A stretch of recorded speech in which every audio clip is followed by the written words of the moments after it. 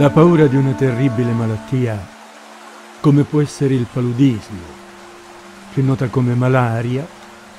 e le sue complicanze mortali, indusse la popolazione ad avere timore delle zone paludose, dove più facilmente si annidavano le zanzare del genere Anopheles, principale causa di infezione. Per combattere questo pericolo, nei primi decenni del Novecento in Italia vi fu una vera lotta contro le zone acquitrinose, paludose, malsane. Ed anche in Sicilia molti invasi lacustri naturali furono prosciugati. Un cinquantennio dopo, la necessità di incrementare l'estensione dei campi irrigui e la carenza di acqua portò le stesse amministrazioni a sbarrare molti corsi fluviali per accumulare ingenti quantità di acqua per la coltivazione dei campi, mentre gli antichi invasi lacustri naturali non sono più stati riproposti come possibili serbatoi. E questo è il caso dell'antico lago Stelo, che si trovava nel territorio comunale di Villarosa, in provincia di Enna, la cui posizione era davvero mirabile e sorprendente, poiché il suo ampio bacino si trovava su un terrazzo sedimentario che a valle era sostenuto da un contrafforte roccioso che da lì a poco avrebbe avuto un notevole salto di quota, come una diga naturale, aprendosi su un panorama collinare ampio e mutevole, solcato da impluvi fluviali e interminabili gibbosità digradanti verso il nulla.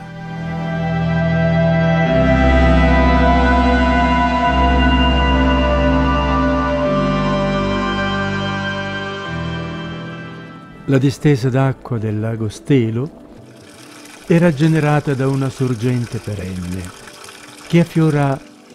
poco più a monte e che ancora alimenta un generoso bevaio per poi disperdersi nei campi. Il lago, negli anni 30 del Novecento, fu svuotato delle sue acque e il suo fondo fu solcato da profondi canali di deflusso idrico che ne convogliarono le acque residuali verso una sorta di inghiottitoio artificiali attraverso cui si sono disperse in falde freatiche misteriose e sconfinate. Anche allo stato attuale gli stessi canali convogliano le acque meteoriche verso il medesimo pozzo a perdere. Il bacino lacustre dopo il prosciugamento è stato coltivato a grano ed altre leguminacee e se non fosse per l'evidenza della sua orografia potrebbe sembrare uno dei soliti pianori collinari. Lungo tutto il lato rivolto a sud-ovest, tra l'antica riva ed il precipizio roccioso, negli anni Sessanta è stata piantumata una ricca vegetazione di conifere che crescendo rigogliose hanno celato testimonianze importanti che riguardano i segni di una millenaria frequentazione umana che proprio dalla presenza del lago traeva motivo di permanenza e sostentamento.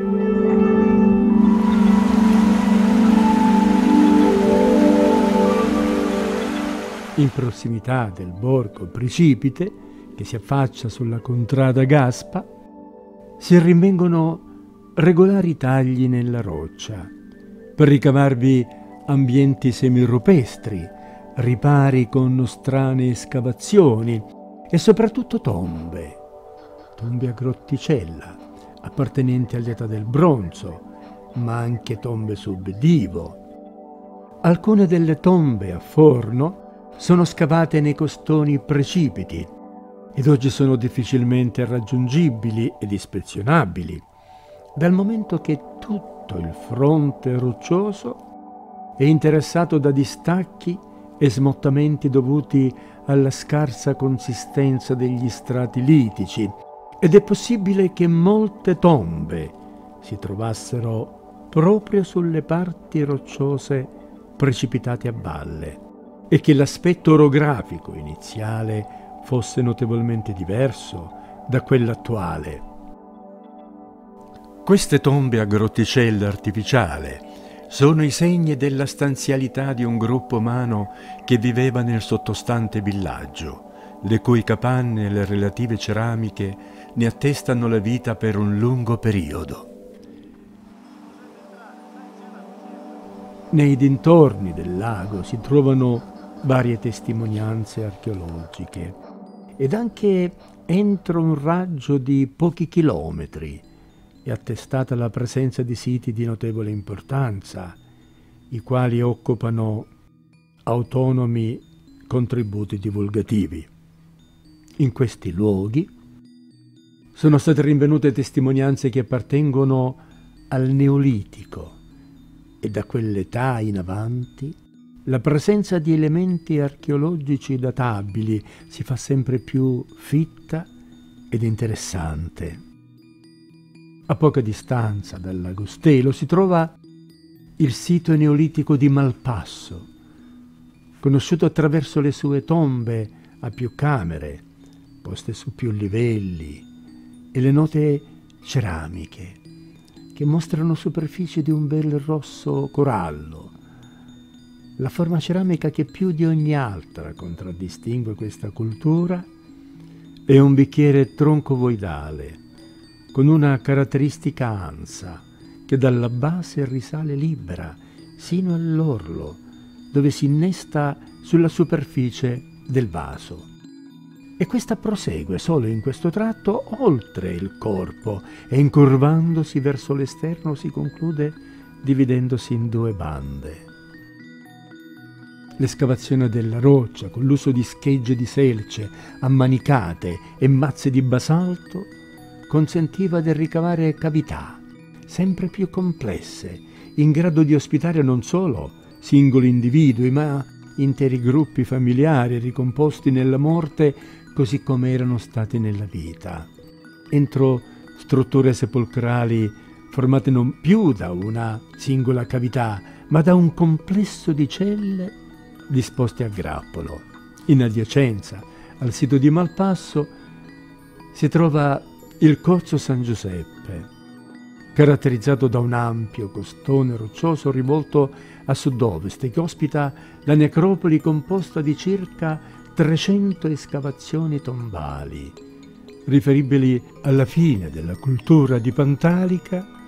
e a quella dell'età del ferro. Lungo il vallone Canalotto, entro le balze di una conca di roccia arenaria si aprono cavità spettacolari, le cui origini sprofondano nella preistoria, e tali escavazioni nel tempo sono state riadattate apportandovi modifiche ed ampliamenti secondo nuove necessità culturali ed abitative, sino in età tardo-romana e bizantina. In prossimità del lago si trova una strana emergenza ambientale chiamata Castiddazzo,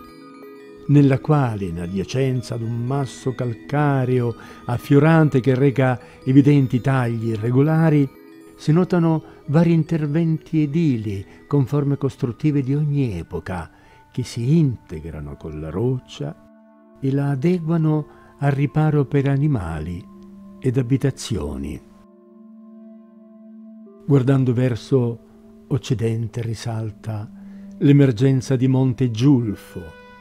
che negli ultimi anni si sta rivelando come un sito archeologico di notevole interesse per i numerosi frammenti ceramici che affiorano tra le zolle arate, per le emergenze abitative emerse dai primi saggi di scavo e per la presenza di numerose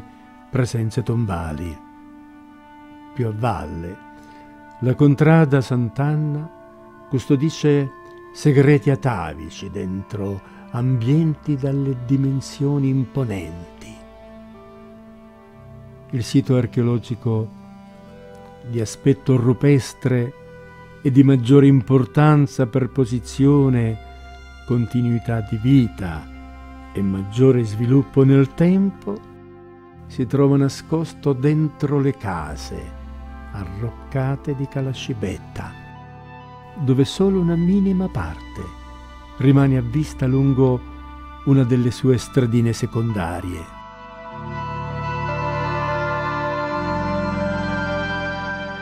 Tutte queste preziose testimonianze nel territorio sono dovute alla vivacità operativa di una popolazione locale che dai segreti della terra seppe trarre il maggiore vantaggio, innescando commerci con il circondario e soprattutto con le lontane zone costiere. Oltre all'agricoltura e alla pastorizia, qui già allora erano facilmente estraibili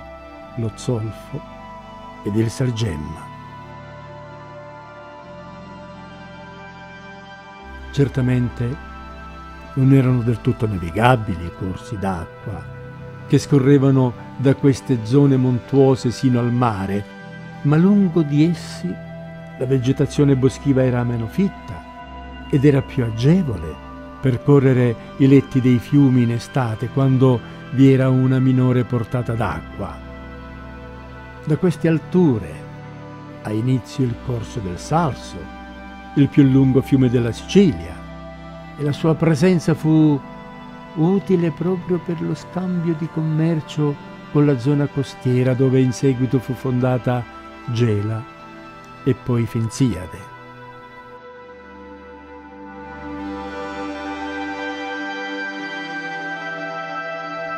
I greci risalivano questo corso fluviale stabilendo contatti con tutti i centri abitati dell'entroterra, come quello di Sabucina.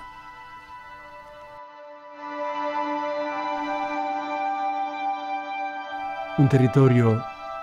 così importante a causa della sua lontananza dalle sedi delle soprintendenze di Palermo di Siracusa, è stato poco indagato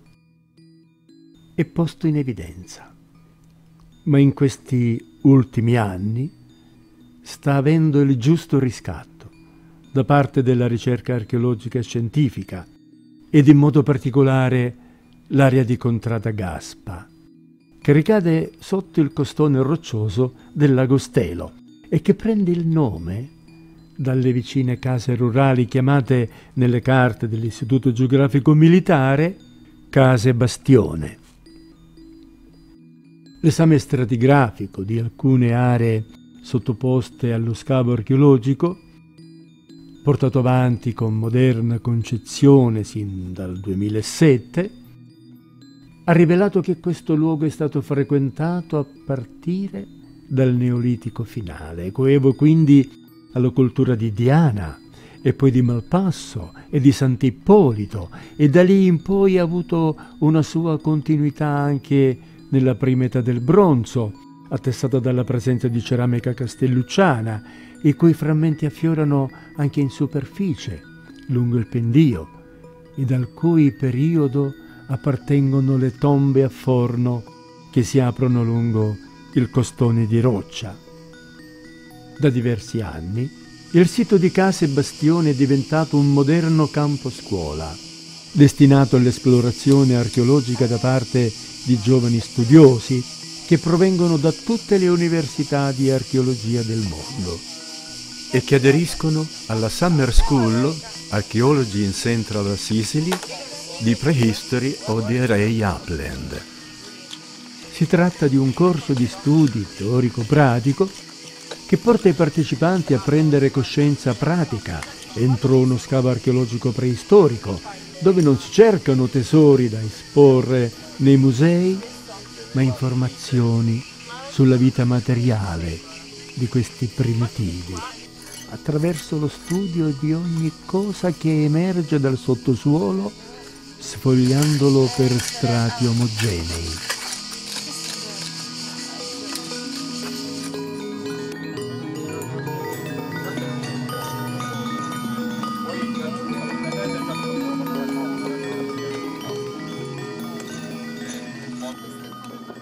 Per tre settimane, nel mese di luglio,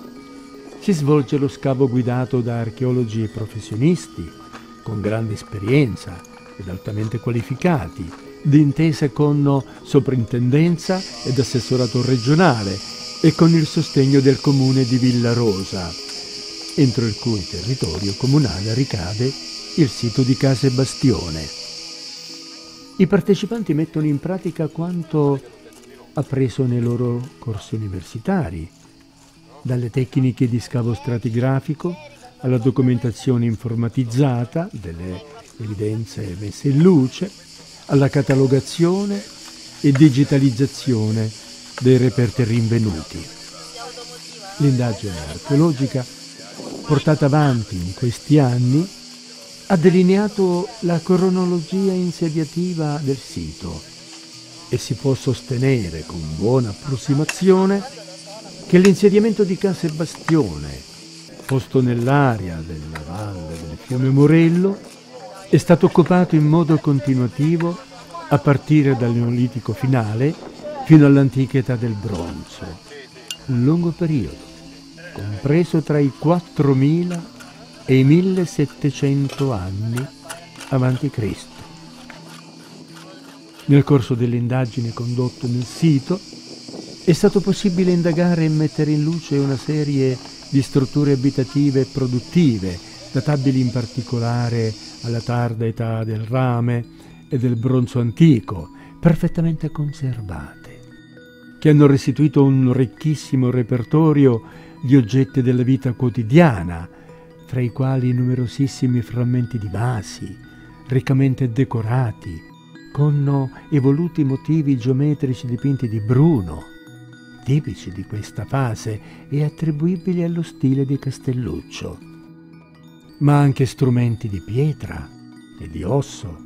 oltre a diversi strumenti utilizzati in attività complesse come la tessitura, la produzione casearia e la metallurgia. La principale emergenza archeologica è data dalla presenza di una grande capanna dell'età del rame, forse la più grande finora rinvenuta in Sicilia, di dimensioni davvero monumentali, lunga oltre 16 metri e larga 8, unica nel suo genere. Questa in parte era probabilmente utilizzata come abitazione e in parte come laboratorio artigianale e produttivo. È probabile che possa essere stata una sorta di masseria di oltre 4500 anni fa, dove venivano lavorati e trasformati i prodotti della terra e della pastorizia, quali il grano, l'olio, la lana, i formaggi, in modo non troppo diverso da quanto realizzato nelle fattorie dei nostri giorni. Inoltre, i suoi abitanti già conoscevano. E sfruttavano due delle principali materie prime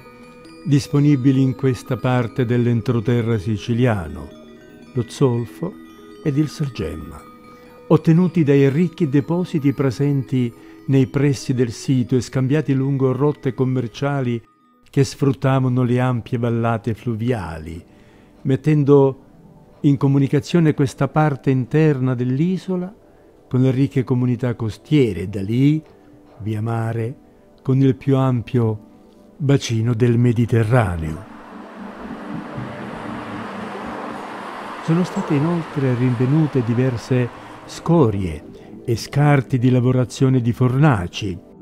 rappresentati da vasi malcotti, per cui è possibile ipotizzare anche una diffusa attività di vasai, vecchia di 5.000 anni. Già nel passato, a Case Bastione sono stati rinvenuti diversi frammenti di vaso attribuibili al complesso del bicchiere campaniforme, stile ceramico che si diffonde in tutto il Mediterraneo e nell'Europa centrale nel corso del terzo millennio a.C. È evidente quindi che la comunità che viveva a Case Bastione possedeva una struttura sociale economica e culturale altamente sviluppata e complessa, che rimane ancora tutta da indagare e comprendere a fondo. I prossimi anni saranno importanti per definire meglio questo territorio dell'entroterra siciliano e magari riuscire a costituire un ampio parco archeologico sparso che comprenda tutte queste straordinarie realtà che la moderna ricerca archeologica sta facendo tornare alla luce.